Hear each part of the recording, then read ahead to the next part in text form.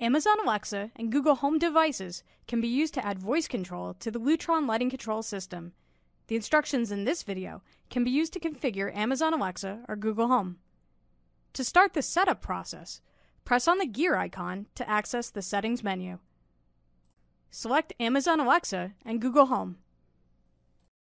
Press Add or Remove Scenes to select scenes to be used with voice control. To control shades with Amazon Alexa or Google Home, Shades will need to be added to scenes. A pop-up will ask if you would like to import your home HomeGlance favorites. Select Import to automatically add scenes previously designated as favorites. The app will use the name of the keypad button for the voice command. Some names will interfere with voice control trigger words and cannot be used. For instance, all off cannot be used because off is a trigger word. Instead, select a voice command like goodnight or away. After favorites have been imported, press Add or Remove Scenes to select additional scenes if desired. Select the area that contains the keypad and scene you wish to edit. Select the keypad button, Scene, and change the voice command if necessary.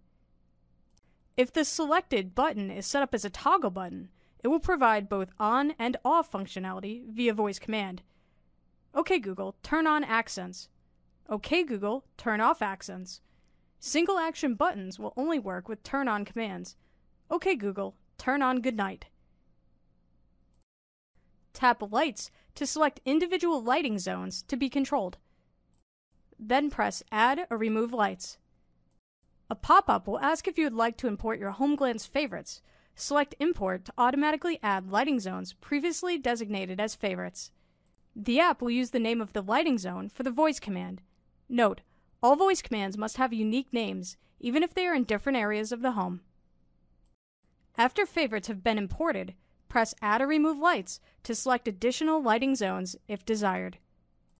Select the area that contains the lighting zone you wish to select. Select the lighting zone and change the voice command if necessary. The last step is to add the Lutron Connect service using the Amazon Alexa and Google Home apps. For Amazon Alexa, open the Alexa app, open the Settings menu, select Skills, and search for Lutron Connect. You will be prompted to enter your Lutron Connect credentials. After the skill has been enabled, use the app to discover devices or say, Alexa, discover smart home devices. For Google Home, open the Google Home app. Under the menu, tap Home Control. Select the plus button to add service. Select the Lutron Connect service you will be prompted to enter your Lutron Connect credentials.